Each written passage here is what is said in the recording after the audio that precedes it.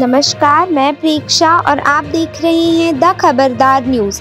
मध्य प्रदेश के विदिशा पठारी में बजरंग दल पठारी प्रखंड ने नगर के मदन पैलेस में शस्त्र पूजन का कार्यक्रम किया, जिसमें राम दरबार की पूजा, अर्चना करके सभी शस्त्रों पर तिलक लगाकर फूल चढ़ाकर आरती की गई।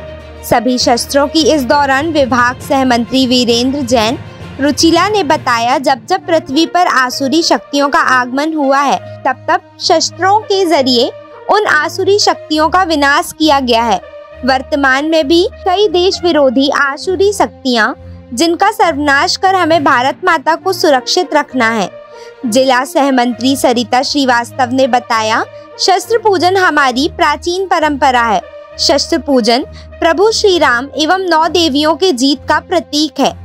भारत में प्राचीन काल से ही लोग हिंदू पद्धति पर जीवन जीते आए हैं। विदिशा पठारी से आशीष सहेले की रिपोर्ट। देखते रहिए द खबरदार न्यूज़।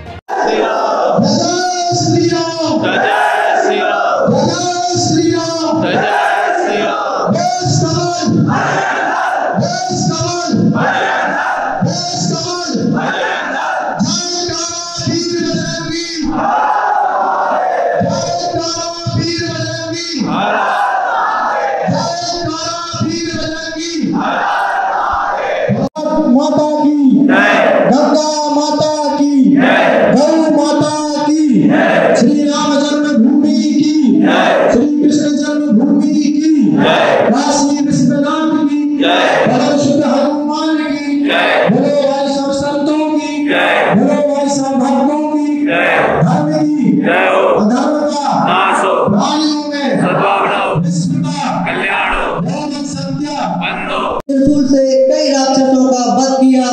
भगवान